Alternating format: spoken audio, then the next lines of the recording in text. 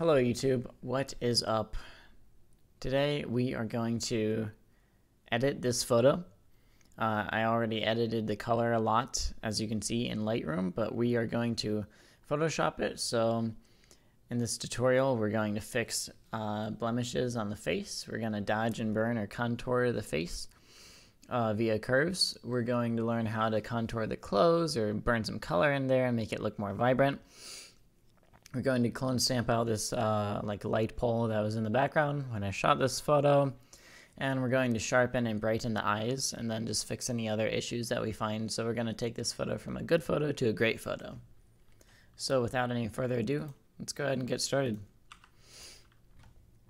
Let's see. Da, da, da, okay.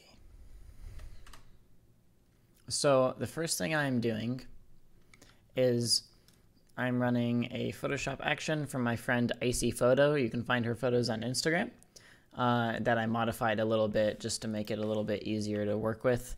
Um, so right now we're going to work on fixing the blemishes on the face.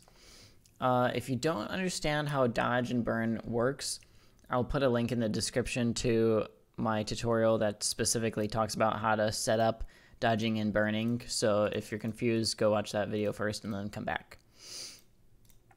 Uh, this layer is just a reference layer, so I'm going to add some temporary contrast so I can see any issues easier. Okay, and then I can go in here. Oh, what is this for? I'm so confused. So confused. Oh, okay. Is this for what I think it is?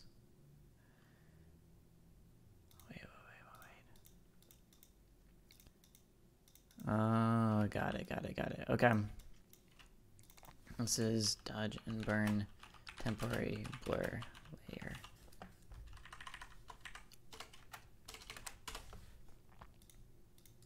It's gonna be red.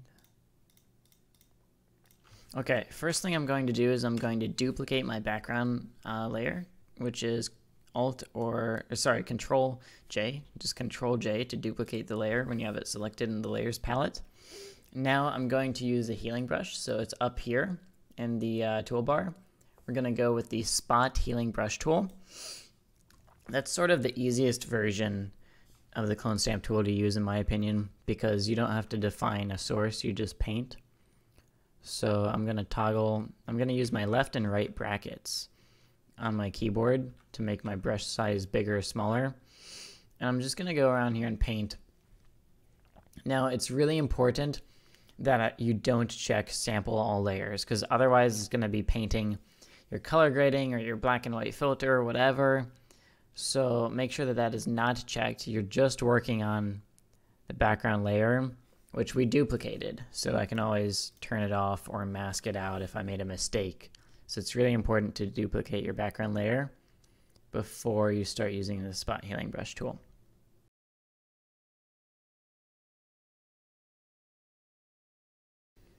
Ah, it started raining outside. I find few things more satisfying than editing photos on a rainy day with a cup of coffee beside my microphone stand. This is the life. Guys, remember that if you have access to Photoshop or even a computer to use Photoshop on, or even a phone to use Lightroom on, you are luckier than a lot of the people on this planet. So be happy about it. It's important to keep our perspective. So I'm just sort of painting along these like uh, a couple of wrinkles that were like really prominent. So if I turn the layer on and off, you can see what I've done so far. And I've only been working for probably three minutes. If you have a drawing tablet, like a uh, Wacom tablet, which is what I use, then you'll make basically all of Photoshop go a lot faster once you learn to use it. It's really fast. I have like the cheapest uh, our least expensive tablet that Wacom makes. It's um, it's just one. It doesn't have a screen or anything. I think it's uh, an Intuos. Yeah, I would recommend getting one of these. I like the medium size, but I've used the small ones too, and uh, those aren't too bad either. You don't have to use a drawing tablet. You can use a mouse and get nearly as good results, but it's going to take longer. So it's just a little faster and more accurate with a tablet. If you're using a mouse, I would zoom in even further, right? Since I'm using a tablet, I have a little bit more precision with like the pen uh, than my mouse, so I can stay zoomed out a little bit further. Typically, the further you're zoomed out, the harder it is going to be to do this, but the easier it's going to be to make sure that you're not overdoing it and you, you keep your bird's eye view perspective. Um, so let's turn this layer on and off.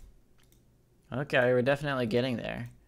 The reason that I do this before I do frequency separation or dodge and burn is because it would take too long to dodge and burn all of this, and it's simply not necessary.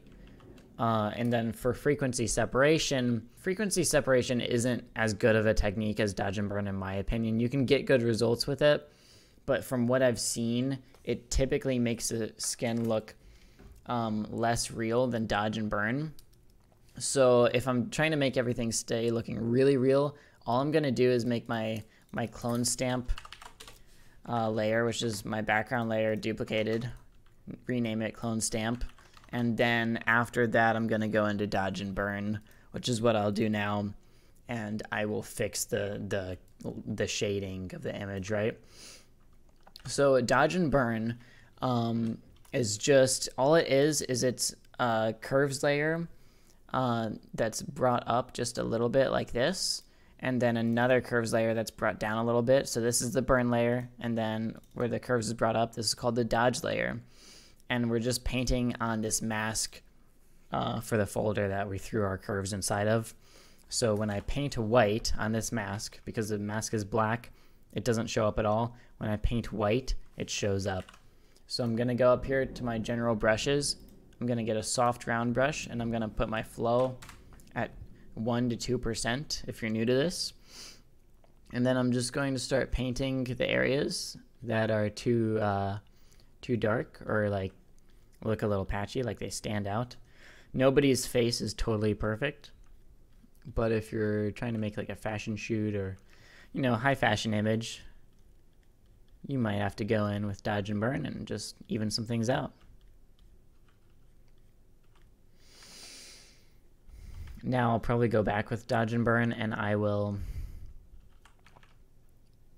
sort of make the edges darker, edges of the face darker in a macro and a large sense and make like here, here, and here uh, brighter on the inside. But right now, all I'm trying to do is even out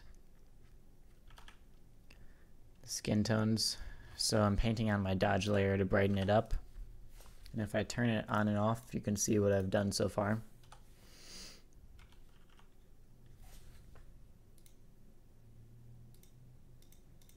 I can turn off my check layers, but if I add this temporary contrast layer in black and white, uh, the black and white makes it so I don't get distracted by the color. And the curves layer adds contrast, which makes it easier to distinguish light areas and dark areas. There's no reason to strain your eyes. And you can just add a curves layer and delete it later. Another thing you can do is turn the flow up and paint over the eyes. And if I make a mistake, all I have to do is hit X on my keyboard. It will flip my swatches over on the left there. And now I'm painting with black. And I can go back over it to delete, or rather to mask out the area that I just masked in. If I made another mistake, I hit X, flips my swatch back to white. Now I'm painting with white, which means I'm revealing the dodge layer, which means I'm brightening up the eye. So let's turn off our check layers. We'll hit our before and after. This is looking pretty awesome. Like to me, this is already really good. Um, not really any reason to like there's no need to go further unless you want to. You can go to the burn layer and you can paint with white to reveal it and sort of darken down the edges. This is a bit much. I'm going to turn my flow down to like 6% and i'm just darkening down sort of contouring the face here If I wanted to, I could fix these highlights too.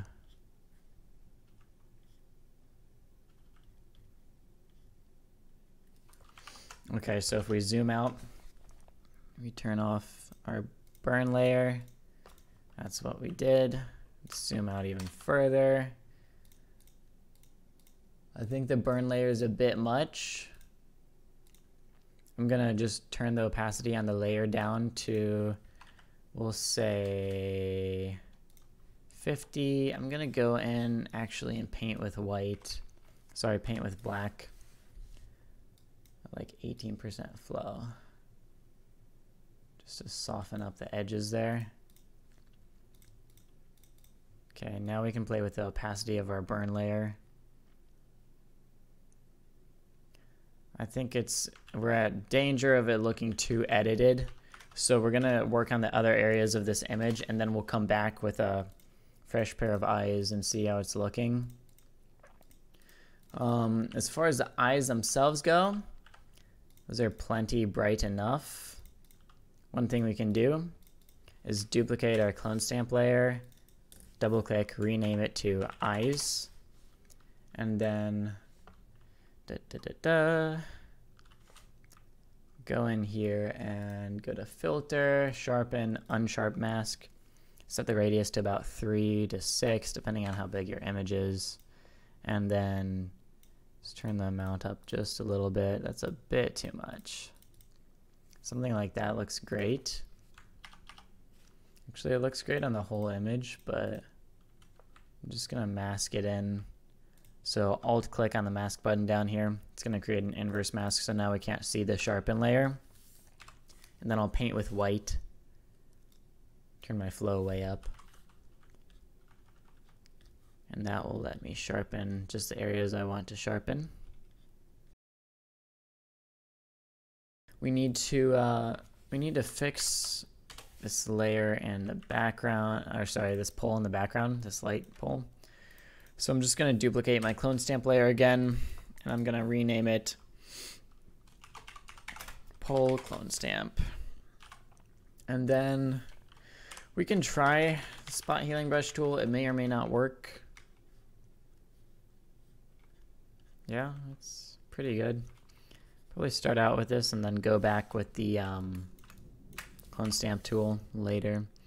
Actually, what I'm going to do, rather than do that, I'm going to go in with the quick select tool. Shortcut for that is uh, W. And I'm just going to select her romper really quick. And then I will inverse my selection, Control Shift I. And now when I paint, I'm not painting on the clothes right here. So I can clone stamp without being afraid of messing up this edge, right? So S is the shortcut for the clone stamp tool. Put my opacity down at 30% by just hitting 3 on my keyboard. And now we're just going to go up here, blend this in just a little bit. Have my layers sampled to current and below on my clone stamp tool. Up here, current and below. It's really important. Again, we don't want to be sampling like, you know, say color grading that's on top or something like that. So let's turn this layer on and off. That was really easy. We just got rid of the pole. If you wanted to, you could go in and lens blur this area. Um, select it and lens blur it. But I think nobody would really notice and it looks fine to me. Um, let's see. Do we have anything else? Fix the blemishes Dodge and burned specific areas of the face. Uh, we need to work on the clothes a little bit, and then we'll be done. Okay, so I'll make yet another layer of my background. I'll just call this dodge and burn clothes. That way we keep everything separate and distinct and we don't get confused. Um, let's see what happens if we go. So what I did is I just set this layer to color dodge. I'm going to hit Alt and click on the mask button to create an invert mask. And now I'm going to paint with white over the areas that I think could use a little bit of brightening.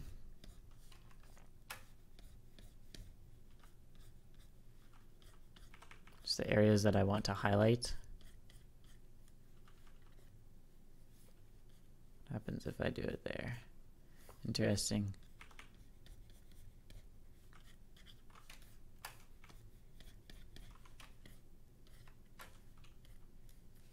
Okay.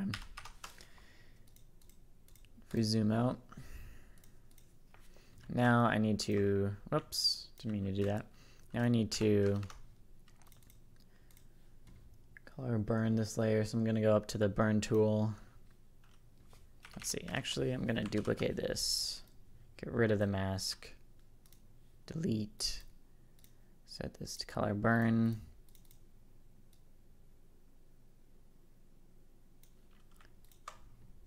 Alt click on the mask, paint with white, flow at 12%. I'm gonna paint some of these shadows just to add some contrast. I can also use this to separate like her arm from her torso, for example, if I wanted to. Okay, so let's look at the before and after. When we started, the image looked like this. Now the image looks like this. So that is how I would edit this image. It is completely subjective. Um, I'd probably do the color grading over again, but I did the color grading a while back and I didn't feel like uh, totally redoing all of that. I just wanted to show you guys these main techniques. So mainly we made a duplication of our background layer to make an eyes mask, and then we sharpened it a little bit. We used dodge and burn, a link in the description to a tutorial on that. Used a dodge and burn layer to brighten up the eyes and even out the skin across the face, uh, which is pretty easy. We used clone stamping uh, just to get rid of blemishes that were distracting, but we left a lot of the skin uh, like texture that wasn't distracting. We got rid of this pole in the background. Um, we used a burn layer to sort of contour the face just very slightly. And uh, we used some crazy curves adjustments and a color fill, a gray color fill layer set to color uh, just while we were dodging and burning and working on skin texture so we wouldn't get too distracted. So I hope that you guys found this tutorial useful, and I will see you guys in the next one. Peace.